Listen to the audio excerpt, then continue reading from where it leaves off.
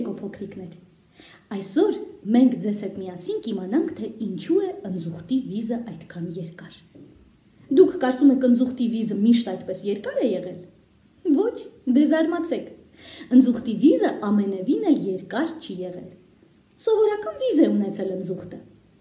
Դե եթե ձեզ հետաքրքրեց այս հետաքրքիր պատմությունը, ուրեմն հարմար տեղավորվեք ու լսեք։ Մեր ընձուղտը նույնպես շատ հետաքրքրասեր էր։ Կարճ վզով ընձուղտը ամեն օր գնում է փղի մոտ ու ասում. Փիղ, ոնց որ ինձ համար ստեղծված լինի քիթդ, այնպես եմ հավանում, այնպես եմ նախանձում քեզ։ Ինչ կլինի քիթդ տուր ինձ։ Երկար քիթը այնքան հարմար է ամեն տեղ խոթելու համար։ Ուզում եմ քիթս ամեն տեղ խոթել, որ ամեն ինչ իմանամ բայց փիղը չի համաձայնում։ Ոչ, քիթս ինձ պետք է, պատասխանում է փիղը։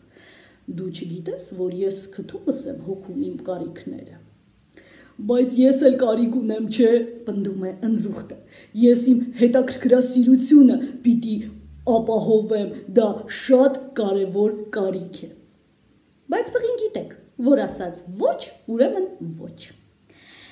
Այսպես ընձուղտը առանց փղի քթի շրջում է եւ ուրشادիր հետևում ով ուր գնաց, ով ինչ արեց։ Բայց թփերն ու մացառները շատ են խանգարում եւ ընձուղտը ստիպված վիզը երկարացնում է, որ տեսնի շուրջը ինչ է կատարվում։ Ամբողջ օրը վիզը ձգած շրջում է ընձուղտը ու ինքն էլ չի նկատում, թե ինչպես է օր-օրի իր վիզը երկարում։ Ինչքան շատ է վիզը երկարում, այնքան շատ բան է տեսնում։ Ինչքան շատ բան է տեսնում, այնքան ավելի շատ բան է իմանում։ Ու այնպես է ստացվում, որ խեղճ կենթանիները անընդհատ ընձուղտի բարձր ու կոպիտ ձայնն են լսում։ Նա ասում է. «Վայ, նայեք, նայեք, կապիկն ինչ է անում, հիմա սիրելով իր ձակին կսպանի»։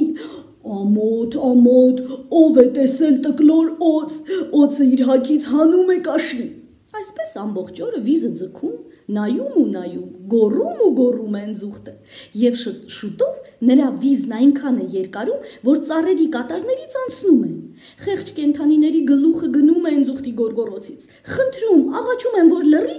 բայց դե երկարավզի ականջներին այնքան էր հեռացել, որ կենթանիների ձայնը մինչև ընձուխտի վզի կեսը հազիվ էր հասնում։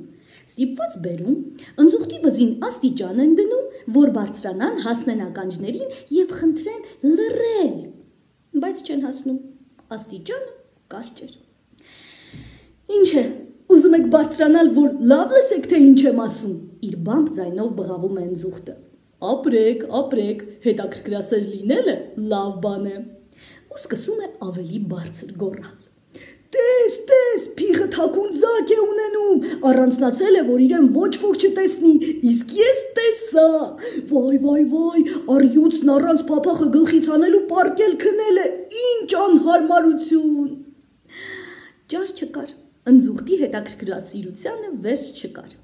Նրա գորոցին նույնպես վերջ չկար։ Ախր այնքան էլ բարձր ձայն ուներ, ու մինչև կենթանիները մտածում են, թե իրենց ականջներին ընձուղտի ձայնից ինչպես ազատել, Երկարավզի ձայնը շատ խոսելուց օր-օրի նվաղում է։ Կոկորդիլոսը պոչը շարժեց, ուշադրություն, անտառում հայտարարվում է ռազմական դրություն։ Վայ, տեսեք, տեսեք, նվաղուն ձայնով գոռում ու գոռում են զուխտը, ինչև որ ձայնը լրիվ կտրվում է։ Վիզն էլ մնում է երկար, երկար։ Եվ ինչքան էլ ընդվզում է, ոչինչ փոխել չի կարողանում ու մինչև հիմա է բոլորին վերևից նայում, ամեն ինչ տեսնում է ընձուխտը, բայց իր տեսածի մասին միայն մտքում է խոսում, որովհետև այլևս ձայնալարեր չուներ մեր երկարաձիգ, երկարավիզ հետաքրքրասեր